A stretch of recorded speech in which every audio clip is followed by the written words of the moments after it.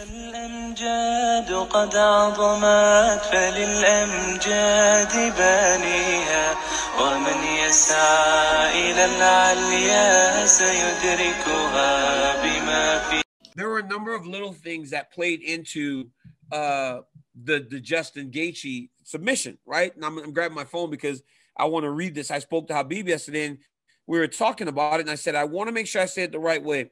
Okay. Um, he told me when he was watching the interviews over the course of the week, right?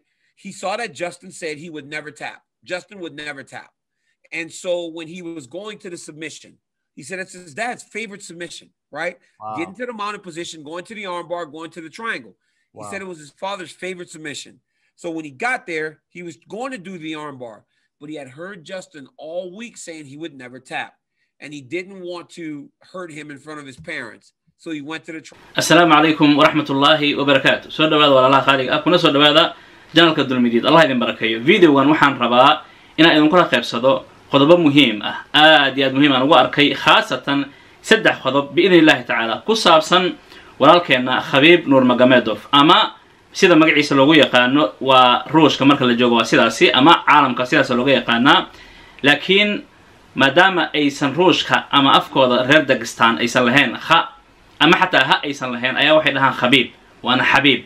Nuur magamedof yani magamedofna waa maxamed marka walaalkaasi allaha subxaana wa tacala ha xafido diintana alla subxana wa tacala ku suga annaga isagaba waa nin cajiib ah. Sidaad hore u aragteen sidaad taqaanaan badankiina waa nin run ahaantii role model ah oo dhalinyaro badan ay ku daysan karaan. Khaasatan markay timaado siduu u yahay qof diintiisa u muujista diintiisana u arka muhiim aad iyo aad oo aanan la gaban caalamka meel walbuu joogo tartan walbuu galaayo. Waxaad aragteen markhaatina ka tihiin.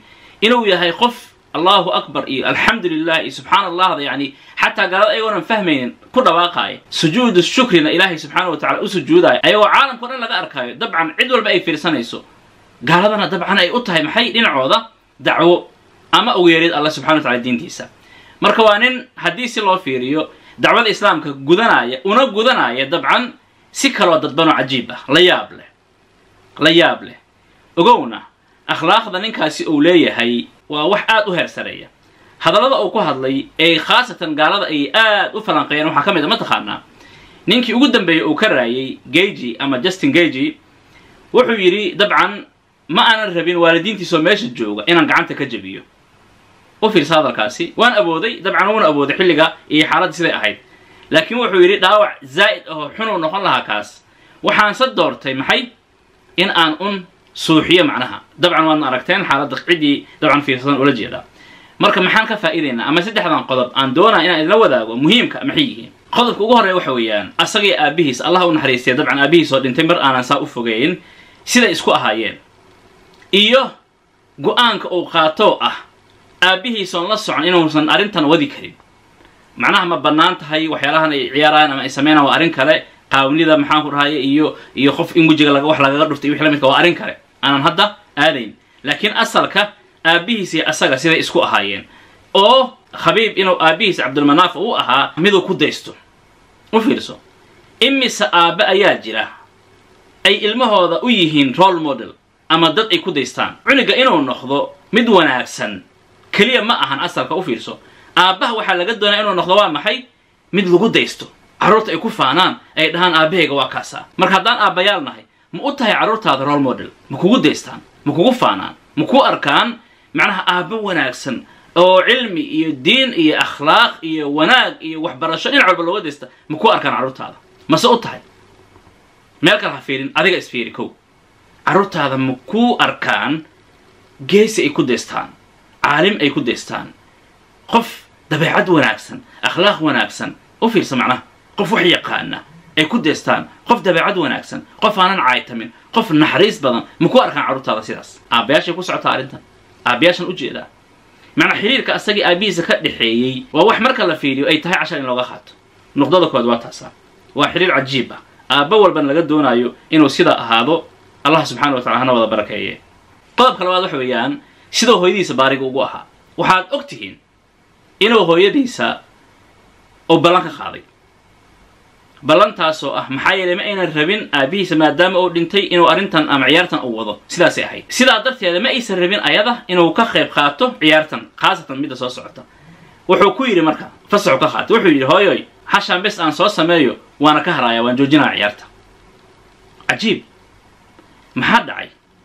In adduunka oo dhan ay u jeedaan in uu soo istaagay marka uu raayo kadib inuu caalamka oo dhan u sheegay in ballantii hooyadiisa uu ka qaaday rabo inuu fuliyo. Cajiib. Baarinimo intaa la eg. Maxay ballantaasi tahay uu fulinaayo? Ma taqaanaa? Waxay tahay ballantaasi uu fulinaayo in mustaqbalkiisa iyo lacagaha laga helay malaayiinta ah ee uu shaqaysanayo iyo inuu hooyadiis darteed u joojinayo macnaha. Macnaha magacuu heestaa marka inuu magaciisa sii jiro inuu sii shaqaysto hanti intaa leeg uu sii helo ayuu hooyadiisa darteed u joojinayaa baarnimada intaa u fiirso. Waa qodobka labaad oo laga faa'iidayo ama laga qaadanayo maxaan ku dhahay xabiib. Alle subxana wa tacala ha xafidee. Qodobka ugu dambeeya ee saddexaad waxay tahay akhlaaqda. Horena in yaraan ka soo taabanay dabcan.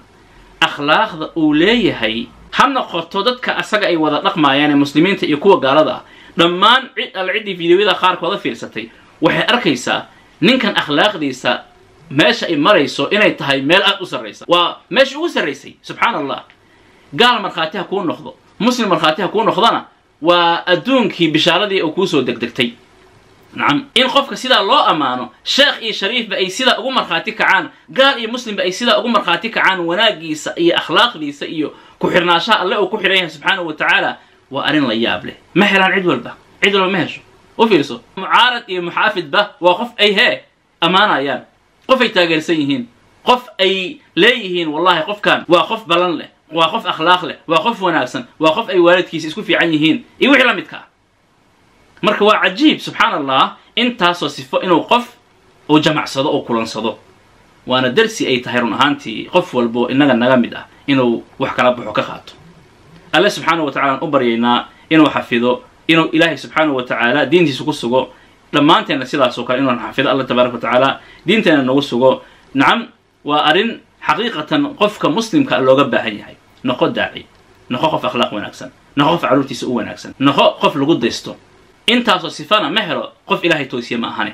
Ilahayna subxana wa tacala dhammaanteen hana toosiyo baaraka allahu fiikum wa jazakum allahu tacala khayran. Maasha allah waxaad arkaysaan xabiib nuur maxamed ama sida caalamka looga yaqaano khabiib nuur magamedof oo tujinaya hogaaminaya salaad wuxuuna tujinayaa rag asaga la mid ah muslimiin ah maasha allah waxaadna arki kartaan wuxuu ku tujinayaa meel ciyaar loogu talagalay ee garoon ah intaasaan raba inaan idinla wadaago xaqiiqatan aan u arkay muhiim baaraka allahu fiikum ma sha allah ma sha allah alle subxana wa tacala walaalkeenaas xabiib ama khabiib nuur magamedof ha xafido wassalaamu calaykum waraxmat ullaahi wabarakaatu الأمجاد قد عظمت فللأمجاد بانيها ومن يسعى إلى العليا سيدركها بما في